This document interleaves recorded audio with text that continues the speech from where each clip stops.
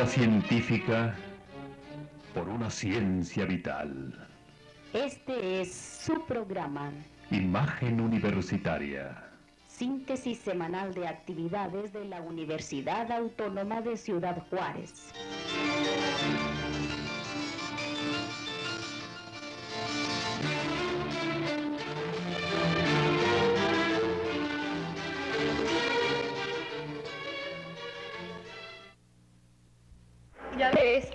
Mesa redonda con la que iniciamos el ciclo de conferencias que comprende el día de hoy y de mañana, eh, tiene como fin el que las estudiantes de la carrera de decoración de interiores tengan mayor conocimiento de los diferentes campos en que se desenvuelve el decorador. Y para tal efecto hemos invitado a varias personas que trabajan en el aspecto de la decoración comercial, que son enseguida la señorita María de los Ángeles Rodríguez. Trabajo, soy decoradora en Plaza Coloso. Mi nombre es Araceli Pacheco y, y estoy, trabajo en el Nuevo Coloso. Mi nombre es María Isabel Quevedo y trabajé en el Nuevo Coloso y en Plaza Coloso. Mi nombre es Irma Figueroa y soy jefa del departamento de decoración en Grandalia. Martín Ramírez, director de Decoración y Planeación de las Tiendas de la Popular del Paso.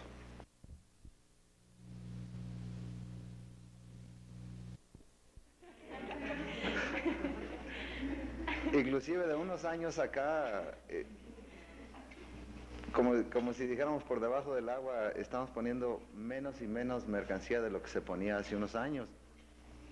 Ah, hace 10 años en, en el aparador eh, de la calle Mesa y San Antonio llegamos a poner eh, 300 camisas para una venta y ha ido bajando, yo creo que ahorita tendremos unas 20 o 30. Ah, algún día vamos a convencer a los dueños del negocio de que el aparador va a estar solo, nada más un letrero enorme que diga venta y se acabó. Eso sería ideal para nosotros. Pero, pues decimos, es dos veces al año. Así es que por dos veces al año sufrimos nosotros como decoradores, pero es parte del trabajo también. ¿A quién le doy esto?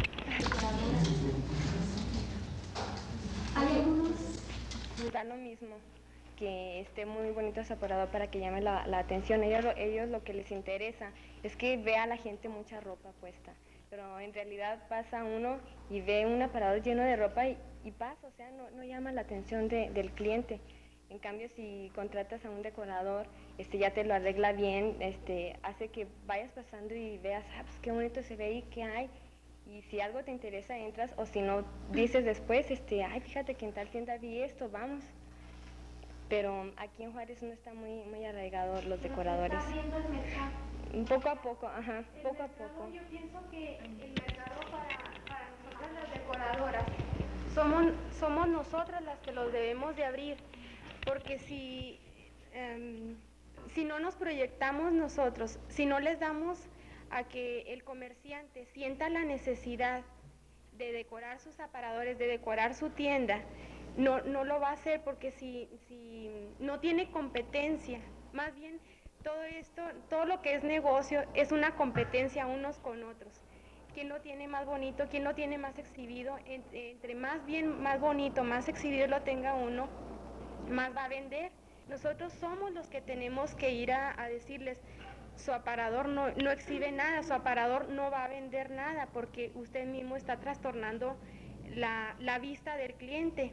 No le está exhibiendo tal mercancía porque se va a confundir, porque no va a saber si le gusta más este o este, porque no tiene una buena exhibición.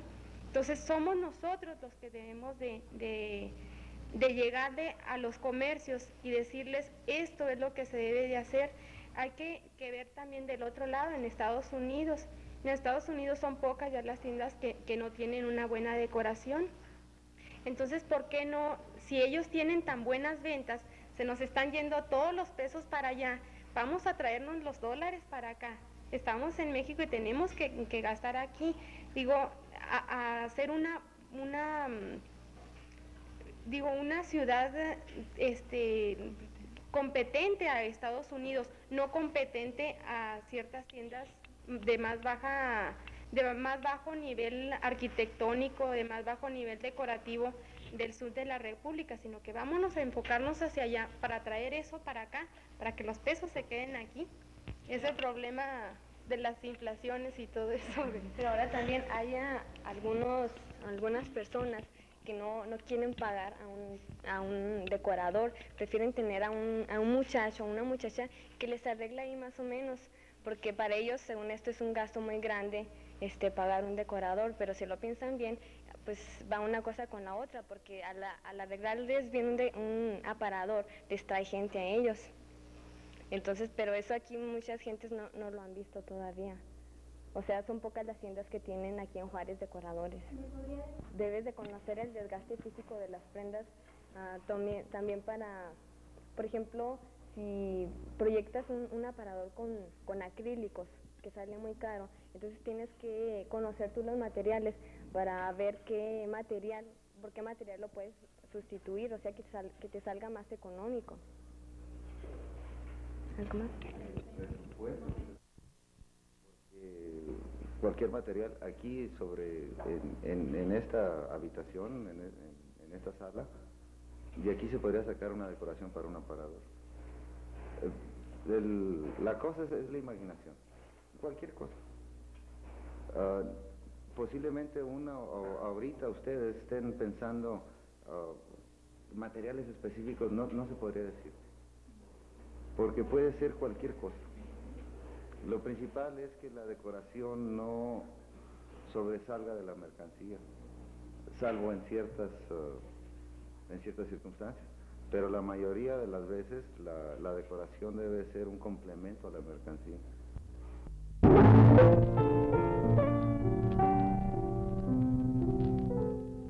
Treinta y cuatro estudiantes integraron la sexta generación de médicos cirujanos de la Universidad Autónoma de Ciudad Juárez.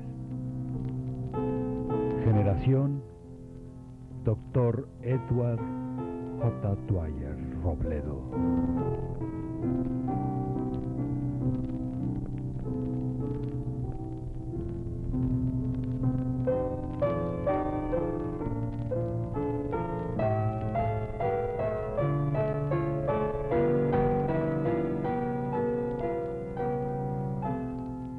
Entrega de diplomas, de certificación y anillos se hizo en el Club de Leones con el agradecimiento de los estudiantes que se manifestó en esta forma.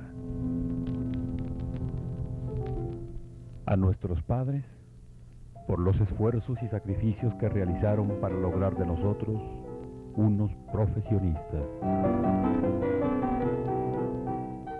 A nuestros maestros, por su ayuda, dedicación y amistad que nos brindaron en el transcurso de nuestra carrera.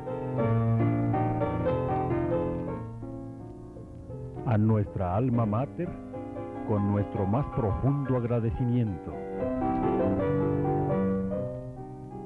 A nuestro padrino, un profundo agradecimiento por su ayuda y amistad desinteresada.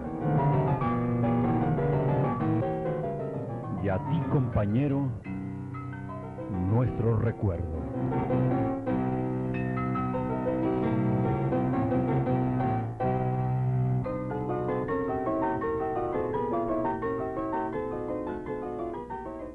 Por decisión de los graduandos, se guardó un minuto de silencio en memoria del inolvidable maestro, de quien fue y sigue siendo ejemplo de las nuevas generaciones de estudiantes, del insigne maestro doctor Manuel Delfín.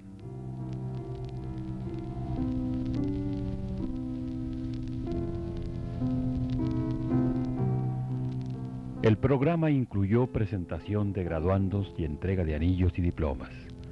Palabras del doctor Edward J. Dwyer, padrino de la generación palabras del señor rector de la Universidad Autónoma de Ciudad Juárez, licenciado Enrique Villarreal Macías, quien en esta memorable ocasión estuvo representado por el secretario general de nuestra institución, de nuestra máxima casa de estudios, por el señor licenciado Javier González Moquen, secretario general.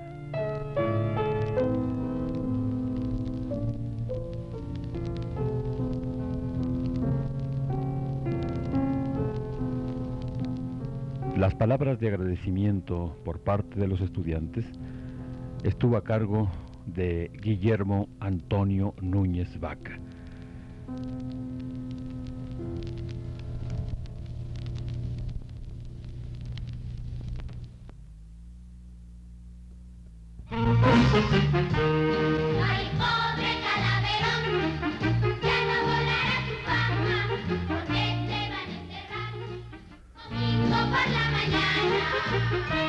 La Escuela de Educadoras de la Universidad Autónoma de Ciudad Juárez volvió a obsequiar este domingo próximo pasado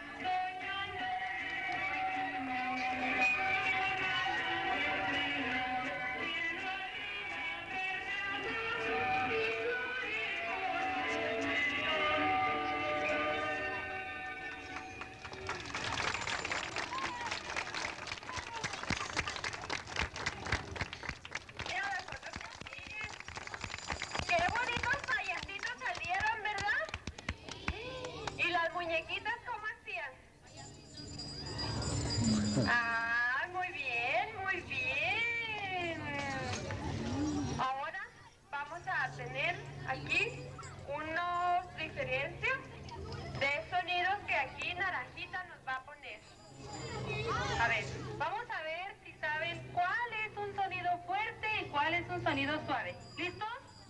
¿Sí? ¿No oigo? ¿Sí oigo? A ver, Pillín, haznos un sonido suave. Ahora uno fuerte. A ver, un niño de por aquí, un sonido suave. Muy suave. A ver, un sonido suave. La. ¿Y un sonido fuerte cuál sería? Muy bien. A ver con esto. Voy a sonarlos y ustedes me van a decir si es suave o es fuerte.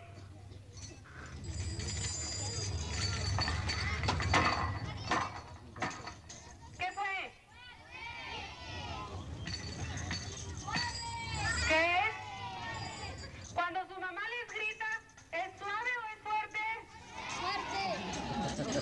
¿A quién le gritan suave? ¿Y ustedes cómo le contestan? ¿Suave o fuerte a sus papás? ¡Qué mentiras! Si su mamá la regaña, ¿qué les dice? Hijitos. O les dice, hijitos. ¿Qué les dice? Muy fuerte, muy fuerte. ¿Y la maestra cuando se enoja con ustedes, cómo les habla? ¿Sí? ¿A todos? ¿Y las maestras que no se enojan, cómo hablan con ustedes? A ver, quiero hacer una pregunta. ¿Hay maestras que nunca, nunca las regañan? A ver, ¿quién tiene una maestra que nunca, nunca grita? ¿No hay maestras? A ver, ¿quién tiene maestras que gritan? ¡Qué gritonas! ¿El siguiente número? En forma muy fuerte. No, en forma suave. En forma ahora sí, fuerte, fuerte. Les vamos a decir cómo se llama primero en forma suave. La, cri, ti, la, cu, pa. Fíjense, si así habláramos, ¿cuánto nos tardaríamos en comunicarnos? Tu mamá que la regañaría así, que suave, ¿verdad? Alcanzaban a meterse debajo de la cama. A ver, en forma más fuerte y rápido. La que tiene la cubana.